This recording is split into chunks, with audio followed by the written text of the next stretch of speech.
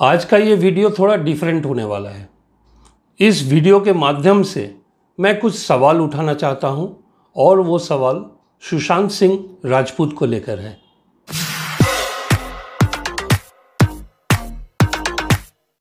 नमस्कार, मैं हूँ देव। हमेशा की तरह फिर से एक बार आपको स्वागत करता हूँ द देव रिव्यूज़ चैनल में।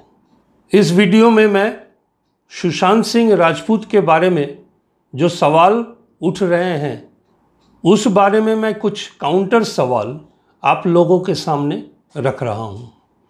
इस वीडियो को आप लोग लाइक करेंगे कि नहीं शेयर करेंगे कि नहीं, और ये चैनल को सब्सक्राइब करेंगे कि नहीं, ये मैं आपके विश के ऊपर में छोड़ता हूँ। हमारे देश में एक रीति चला आ रहा है कि कोई भी आदमी का देहांत होने के बाद उनको सम्मानित किया जाता है, जबकि सुशांत के केस में हम लोग बिल्कुल अपोजिट देख रहे हैं। आज सुशांत हमारे बीच में नहीं है। इनके बारे में आप अगर कोई एलिगेशन लगाते हैं, उनका चरित्र हनन करते हैं तो वो बेचारा यहाँ पे ज़िंदा है नहीं अपनी सफ़ाई देने के लिए। तो फिर क्यों उनको बदनाम किया जा रहा है? दोस्तों, सुशांत सिंह राजपूत को रिया चक्रवर्ती ने चर्सी बताया ड्रग एडिक्ट बताया तो उसको लेकर मैं उनसे काउंटर सवाल ये करता हूँ। पहला सवाल ये है कि अगर सुशांत ड्रग एडिक्ट था तो रिया चक्रवर्ती ने ही उनको डॉक्टर करसी चावड़ा से ट्रीटमेंट करवा रहे थे। डॉक्टर करसी चावड़ा सुशांत को डिप्रेशन का ट्रीटमेंट कर रहे थे। अगर वो ड्रग एडिक्ट था तो क्या डॉक्टर करसी चावड़ा उनको ड्रग एडिक्ट का ट्रीटमेंट नहीं करते, उनको रिहैब में नहीं भेजते। दूसरी सवाल यह है कि अगर सुशांत ड्रग एडिक्ट था तो क्या उनका पोस्टमार्टम रिपोर्ट में वो बात सामने नहीं आती? ये भी रिया चक्रवर्ती ने कहा कि सुशांत काफ़ी दिनों से ड्रग लेते थे, यहाँ तक कि केदारनाथ फ़िल्म के पहले से वो ड्रग लेते थे।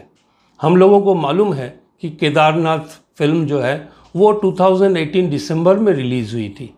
अगर केदारनाथ फ़िल्म के शूटिंग के दौरान या उसके पहले से सुशांत ड्रग लेते थे तो उनका को एक्ट्रेस जो थी उस फ़िल्म में, सारा अली खान, क्या ये बात उनको पता नहीं था? सारा अली खान ने कोई ऐसा पब्लिक स्टेटमेंट आज तक नहीं दिया है कि सुशांत ड्रग एडिक्ट था। मीडिया के माध्यम से हम लोगों को ये पता चल रहा है कि सुशांत के साथ रिया चक्रवर्ती का रिलेशन जो है, वो 2019 से शुरू हुई थी। तो फिर रिया चक्रवर्ती को ये कैसे पता चला कि 2017 या 18 से सुशांत ड्रग लेते थे? चलिए मान लेते थे कि रिलेशन के बाद में रिया चक्रवर्ती को ये पता चला कि सुशांत ड्रग एडिक्ट है। तो रिया चक्रवर्ती सुशांत को ड्रग क्यों मुहैया कराते थे?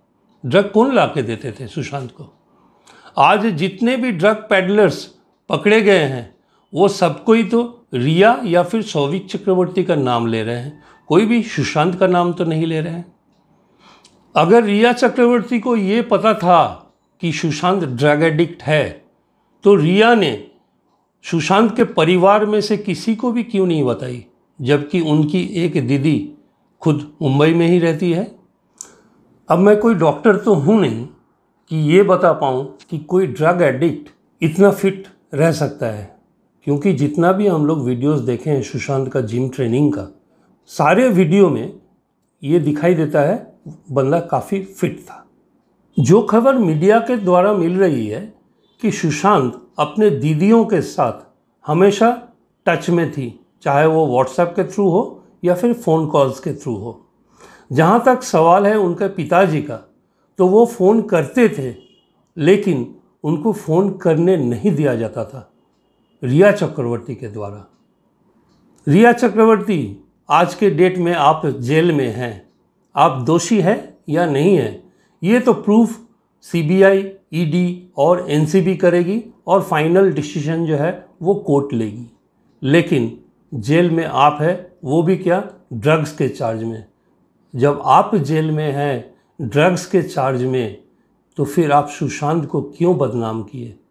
वो बंदा है नहीं इस दुनिया में अपनी सफ़ाई देने के लिए। बस इतना ही कहना था मुझे। अब आप लोग सोचिए कि क्या मेरे सवाल सही है या गलत है। नमस्कार। जय हिंद।